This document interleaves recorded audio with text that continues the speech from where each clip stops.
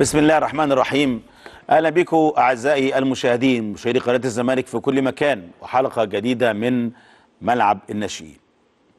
النهارده الحقيقة عايزين نتكلم على دور ناشئين وشباب نادي الزمالك ودورهم في تدعيم الفريق الأول. في إيه بقى بالظبط؟ إحنا اتكلمنا كتير جدا قبل كده على تدعيم الفريق الأول في نادي الزمالك في البطولات اللي فاتت، لكن أول ضربة البداية كانت مع آه، فريق آه، ال- ال- التشادي وكانت مع رحلة الفريق إلى الأفريقية رحلته الأفريقية في آه، دوري الأبطال. بعد ما كان أح كانوا أحد أسباب تفوق نادي الزمالك في التتويج بلقب الدوري العام وأيضا كأس مصر. الحقيقة طبعا في الموسم اللي فات الحقيقة أنا كنت سعيد جدا جدا وأنا بشوف قايمة فريق نادي الزمالك اللي سافرت الكاميرون لمواجهة إليكت بطل تشاد في مباراة الذهاب بدوري أبطال إفريقيا.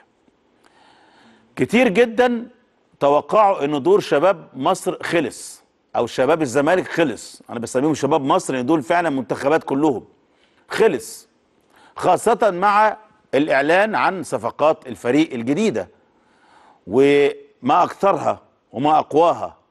لكن القايمة فوجئنا إن القايمة اللي أعلنها مستر فريرا ردت على الكل وردت على كل شيء وقالت إن شباب الزمالك مستمر وهيستمر في دعم الفريق الأول بالموسم الجديد. والبداية طبعا كانت في أدغال إفريقيا. شفنا في قايمة نادي الزمالك لمواجهة اليكت بطل شاد. شفنا في حراسة المرمى نديم محمد نديم سيد عطية في خط الظهر حسام عبد المجيد في خط الوسط محمد حسام بيسو سيف فاروق جعفر سيد عبد الله نيمار.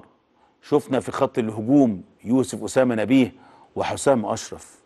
يا جماعة ثمان لاعبين بيزينوا قائمة نادي أو زينوا قائمة نادي الزمالك آه، آه، في دوري الأبطال مع نادي إليكت التشادي.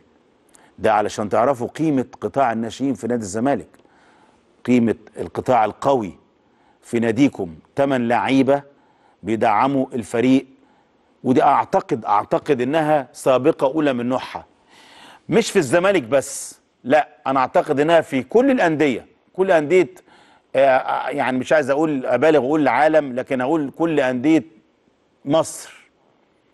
إن يتزين أو زينت قائمة الفريق الأول بثمان لاعبين من قطاع الناشئين. في الدور الأول في بداية مشواره نحو لقب جديد وهو دوري أبطال إفريقيا. والأجمل بقى إيه يا جماعة؟ إن أنت عندك في حراسة المرمى وعندك في وسط الملعب وعندك في فراودة إيه الجمال ده؟ يعني في كل مكان في الملعب عندك لاعب وده إن دل على شيء فإنما يدل على تفوق قطاع الناشئين في نادينا الزمالك.